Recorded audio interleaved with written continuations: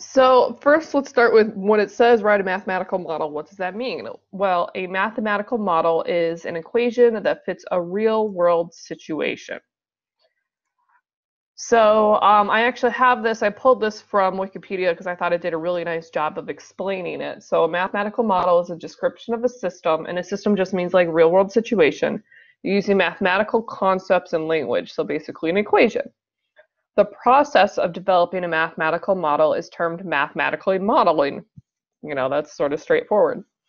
Mathematical models are used in the natural sciences, such as physics, biology, earth science, chemistry, and engineering disciplines, such as computer science, electrical engineering, as well as in the social sciences, such as economics, psychology, sociology, and political science. So a lot of people are like, why am I learning this? Well, actually, mathematical models are used in a lot more disciplines than you may think. So that's why we cover this material. So when you're modeling variation, there's actually a very, um, it's a strict process that you follow. It's very straightforward. So step one is to translate your whatever your description of the situation is into a variation model. So you're translating the words into mathematics. Then you plug in any given ordered pairs you have and solve for your unknown constant, which we call k. Once you know what k is, you rewrite the model using plugging in the value for k, but leaving all other variables as variables, so that the only number you're replacing is k. And then that's your mathematical model. And then once you have your model, you can answer any additional questions that may follow. Sometimes there's follow-up questions. So we're going to be going through this process in this um, this presentation. So there are essentially four different types of variation. There is direct variation, which is as one thing changes, the other changes proportionally. So if it increases, then something else also increases. Or if it decreases, then something else could be decreasing. Um, but they basically, they have the same, there's a relationship between the two.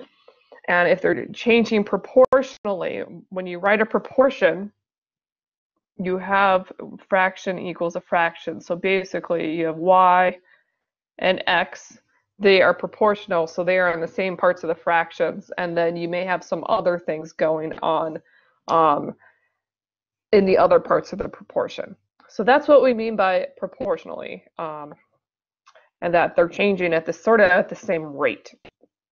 Now, inverse variation sort of sounds the same thing. As one thing increases, the other decreases proportionally.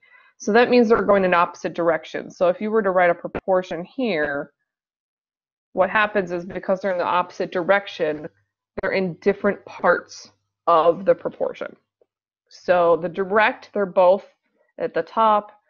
Inverse, actually, the, the input is in the denominator. Combined is where as one thing increases, you have multiple items. One of them increases and then another one decreases. So it's kind of, you have two things going on, one going up, one going down. Um, and then, so this could be if we wrote this as a proportion. Let's say your output is Z. You could have X and Y. One is changing at the same rate as Z, the other one is decreasing, so it's in the denominator. And then we have joint variation where you have one thing changing and then two things are changing at the same rate proportionally. So that could be that they're both on top. They could be like you have Z and you have some proportion and you could have X and Y in the same part of that proportion. So those are the four different types of variation and the difference is really where your X and Y go. Where do your input variables go? That determines what type of variation you have and the type of variation determines how you write the equation. So those different words are very important. So we're going to start with direct variation. So the statements below are equivalent. So you can see these worded in multiple ways. Y varies directly as X y is directly proportional to x, or y equals k times x. k is always that constant of variation, a constant that we don't know that we need to find, but there's some relationship relationship between x and y and they're basically they're they're not in any fractions. Just y is equal to something times x. That's a direct proportion. If you have a direct variation as some power, then there's an exponent on the x. So it could be the square of x, the x. That's telling you what the exponent is, but the setup is different, or is essentially the same. You just have an exponent on x. So you can see y varies directly as the nth power of x. y is directly proportional to the nth power of x, or y equals kx to the n. So you always have this k in front um, for every variation problem. And then you have an exponent on x or not, depending on the wording. So my first example here is a direct variation.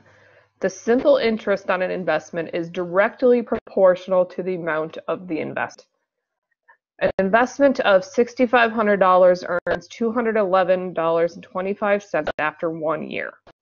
Find a mathematical model that gives the interest I after one year in terms of the amount invested P.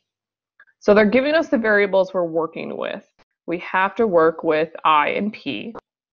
And so when it says mathematical model that gives interest I in terms of something else, that means I is the output. The thing that you're in terms of is the input. So when we translate this, I go back to that first sentence, interest. So I, you see the word is is always where we put our equal sign whenever we're translating mathematics. So the verb is always the equal sign. And then directly proportional tells us we have to have that constant. And it's telling us that we're multiplied by the input variable. And so the amount invested is P. So that gives our model. That first sentence is giving us our model. You basically are reading it left to right. Model is I equals K times P. So that's step one is to translate into your model. Step two is to plug in the numbers they give you so that you can figure out what K is. So it says that the investment is $6,500. That's P, the amount invested. And it's earning $211.25. So that's I, that's the interest. So I plug these numbers in. 211.25 equals K times 6,500. So that's step two. Step three is to solve that equation. So to solve that equation, I'm solving for k. All I need to do is divide both sides by 6,500. Okay, so I'm going to be dividing both sides by that 6,500 so that we can solve for k. And then you just put that on your calculator. 211.25 divided by 6,500. And so I'll move in my move my three down a little bit. We have 0.0325 equals K. Step four is to write your model. So step four, our mathematical model is we take our equation from step one and we plug in the value for k. So it's i equals 0.0325p. And then there's a step five if it asks you a question afterwards, but ours just says find a mathematical model. So now we're done. We have our model.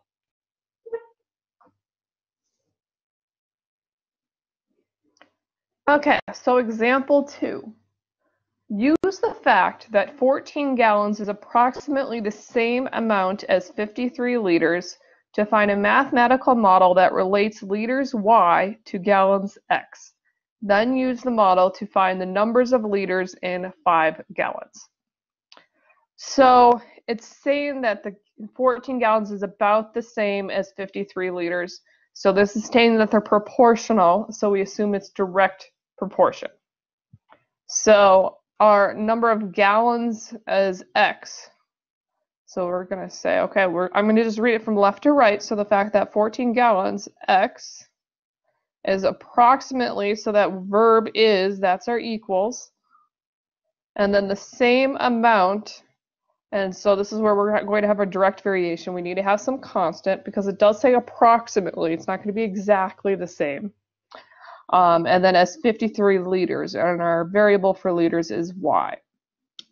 So in this case, I have x equals ky. Now it doesn't matter that it's not solved for y, that it's x equals, because the way the model works is as long as you use the same equation to start with, everything will work out. So we have our mathematical model, and I just wrote it left to right. And it does say, find a mathematical model that relates liters Y to gallons X. Well, we are relating liters to gallons, that we have that. Now, step two is to plug in our information. So now we're going to plug in, we know that 14 gallons, so that's X, approximately the same as 53 liters. So I can plug in 53 for Y. And then step three is to solve that for k. So I'm going to divide both sides by 53. And since these are real world problems, we usually do get the decimal approximations. Um, this particular one does come out kind of nasty, but we'll round it to three decimal places. So it's about 2.264 is equal to k. So then step four is to write your mathematical model.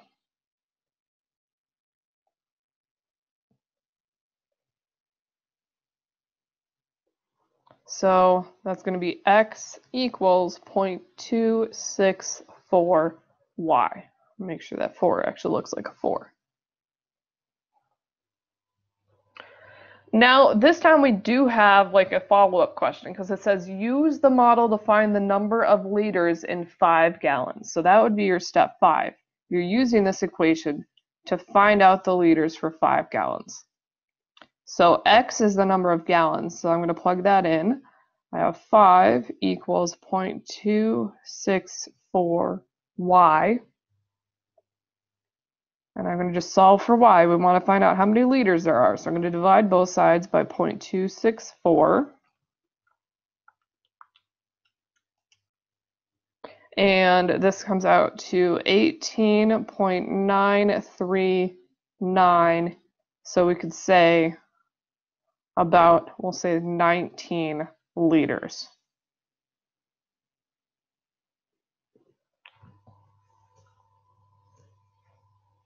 And now we've finished the problem. Now, if you had set up your initial, initial model to put the k with the x instead of with the y, your k would be different, but you'll still get the same answer in the end. You'll still get 19 liters. That's the nice thing about being directly proportional, is the k can really be on either side, but you have to be consistent about which way you do it while you're going through the whole problem so that your answer in the end is the same.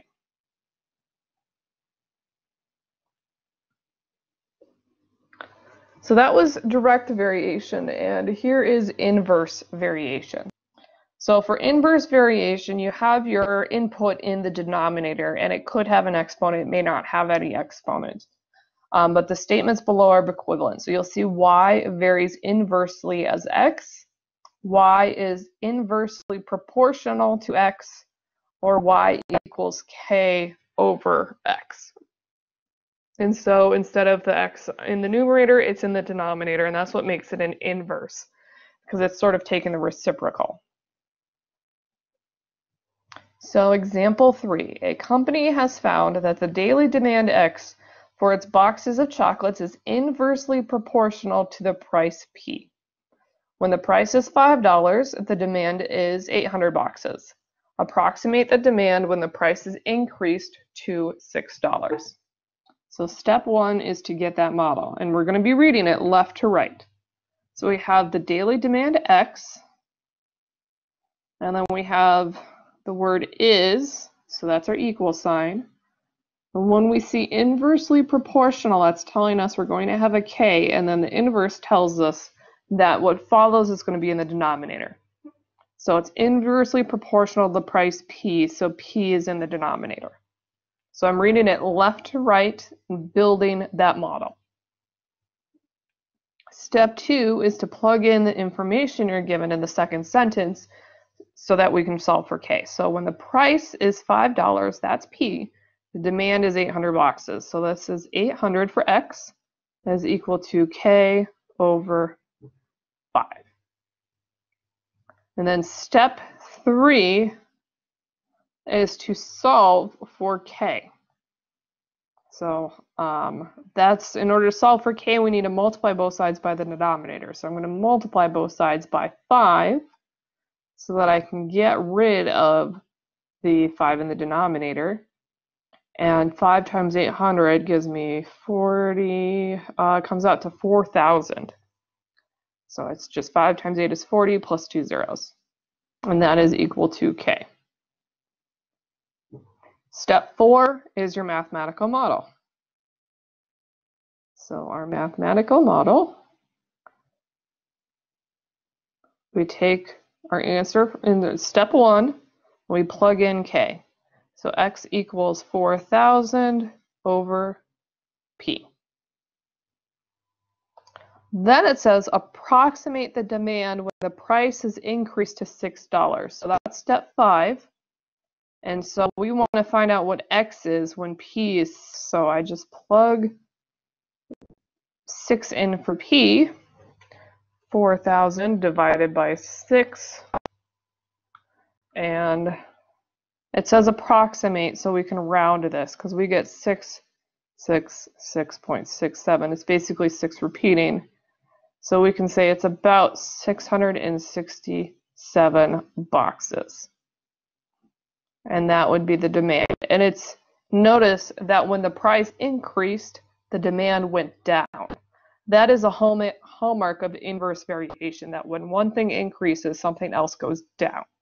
So that's inverse. Wow, um, in the direct, what tend to happens is one thing increases, so does the other thing. They sort of both do the same thing at the same time. Joint variation is where you have things that are both increasing or the, it's direct but with multiple variables. So you'll see z varies jointly as x and y. z is jointly proportional to x and y. And z equals k times x, y for some non-zero constant k.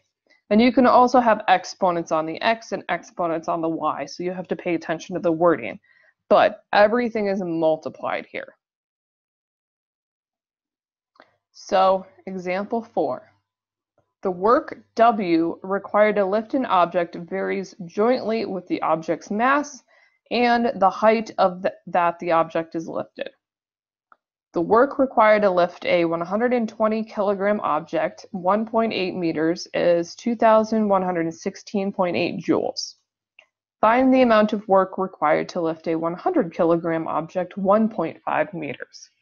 So step one, we're translating and we've taken that first sentence. So it says the work required. So that's going to be W. It gives us W. Um, and then it doesn't have the word is, but it does have the word varies. That's another verb. So if you're if you're good at English, this can help you translate into math. You look for those verbs. So varies, that's a verb. So that's going to be our equal sign. And um, that's also going to indicate, because it says the word varies, it's variation. That's going to tell us we have our constant k. And then jointly means everything that follows is multiplied together. So what follows is the object's mass m, so that's m, and then the height h. So all of those are multiplied together. Step two is to take that second sentence and plug in your information.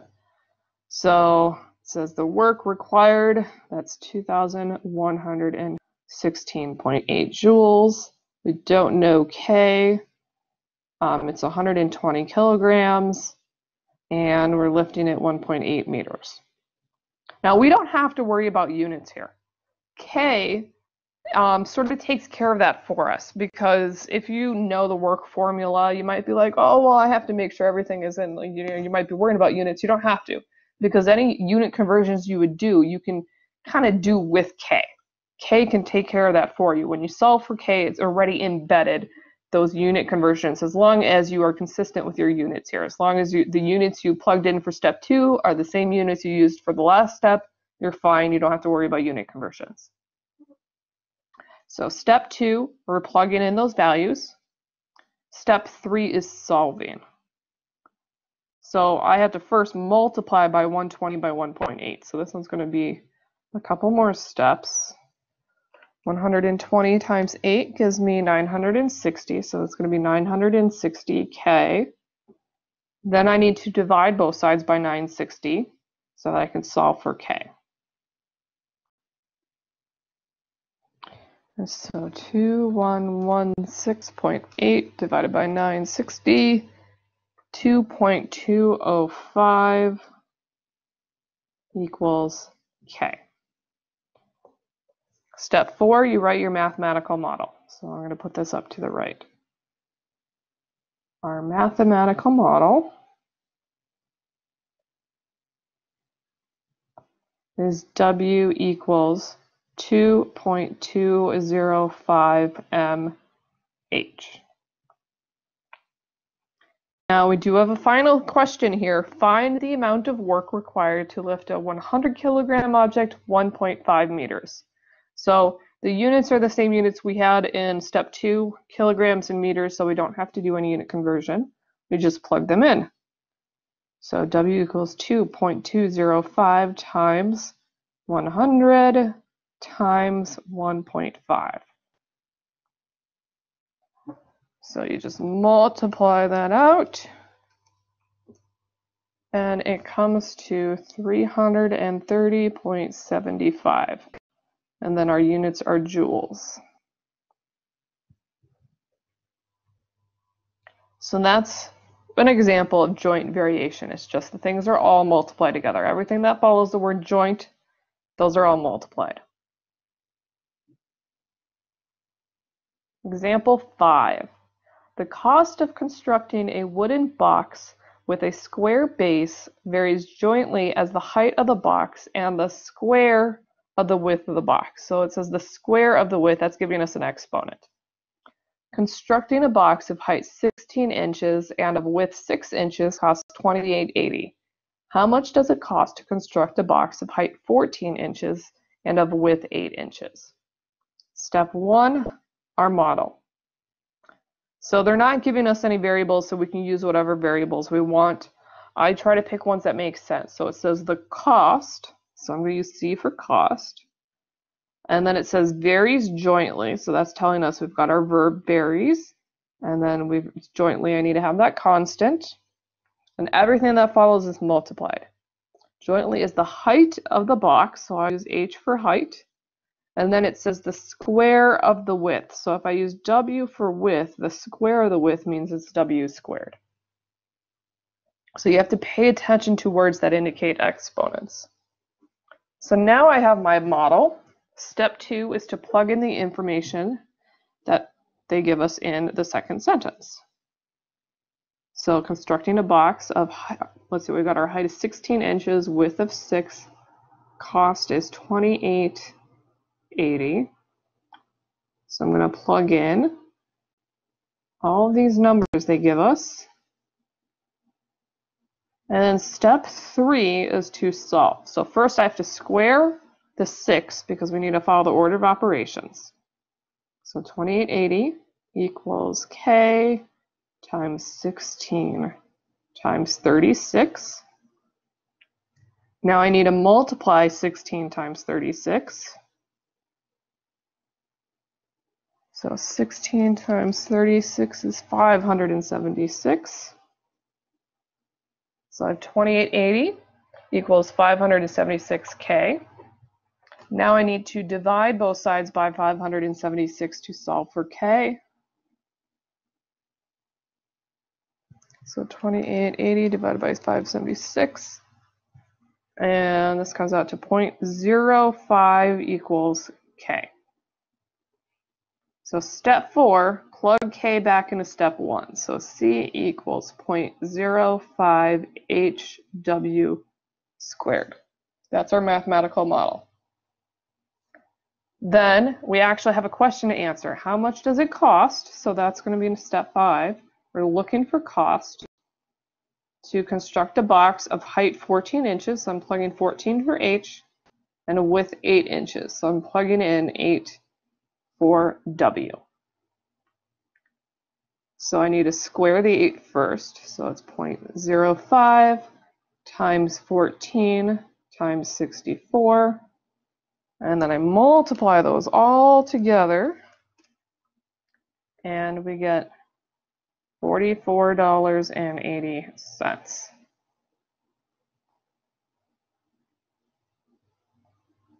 So um, that's that's the price. You can see the price increased as the width increases.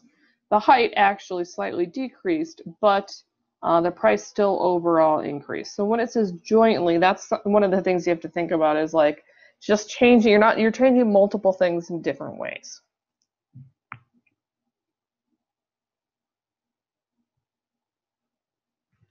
Combined variation is where you have direct and inverse variation. So z varies directly as x and inversely as y. So they're going on at the same time. You still have a constant, it's always on top, but now you've got an x on top of y in the denominator, and they could have fractions or exponents, I mean. So they could have exponents with it. So this is my last example. This one's not a numerical example, but um, this one does, is good to get a, the concept across. So the mathematical, or mathematical, the maximum load that a horizontal beam can safely support varies jointly as the width of the beam and the square of its depth, and inversely as the length of the beam. So we've got joint and inverse variation going on here. We've got multiple variables. variables. So um, I'm going to try to translate this. The maximum load, so let's use L for load. We have the word vary, so that equals, we have K, our constant, and jointly, which means the next two things are multiplied. The width of the beam, so that's W, and then square of its depth. So let's use D for depth and then square that. And then it says inversely, so what follows that is now going to be in the denominator and inversely to the length of the beam. So actually this is going to get confusing if I use, let's use B for beam so that I can use L for length. And so we'll say load is B, and then we have K D squared L. So now we're going to see how each of these changes. So for part A, what happens if you double the width? If you double the width, if I plug in um, 2W instead of W here, so if I just look at the right side, K times 2W D squared over L, that w, w the, the 2 gets pulled out. So then you have k w d squared over L. And kwd squared over L is B, so that's 2 times B. So the load doubles. So it's twice the load. Now what happens if you double the depth? So let me switch colors for that. So if I'm doubling depth, so instead of d, I'm going to have 2d squared. So again, I'm going to look on the right side. kw times 2d squared over L. And then I'm going to square, that's going to be kw. When you square 2d, you get 4d squared. So that's 4 out in front, and then the kwd squared over L, those are all this. So that's just 4 times the load. So the load quadruples. And that's because it's squaring the depth. I probably spelled quadruples wrong. Um, I don't spell that word very often. Now let's look at what happens if you halve the length. So again, I'm looking at the right side, kwd squared, none of those are changing, but now I have 1 half times L. When you're dividing by 1 half, that's the same as multiplying by 2, so that's really 2 times kwd squared over L. And kwd squared over L is B, so that's 2B. So our load doubles if we half the length. And now this last one, we are halving the length and doubling the length, or halving the width and doubling the length. So now we're doing multiple things. We have lots of things going on here. So I have my K, I'm halving the width, so it's going to be 1 half W. And then my depth is the same, and then I'm doubling the length, so that's going to be 2 times L. So that 1 half, that can get pulled out in front. And the 2 in the denominator, that is the same as also halving 1 half. And then I have my k w d squared over L. So what happens is you get 1 fourth times the, the load of the beam. So we quarter the load because you're, taking it in half from the width and then since the length is twice and it's in the denominator that's the same as dividing by 2 so you're dividing by 2 a second time and that's how you get 1 fourth. So that's one of the benefits of writing variation models is that you can actually see what happens as you change different aspects. So if you're trying to get a bigger load, you definitely don't want to double the length because that will actually make the load, it won't, you know, it will get smaller. But you could halve the length and you can make your load bigger. So you can see how changing these things changes the relationship with the output and um, kind of helps you if you're trying to design an optimal, um, in this case, horizontal beam.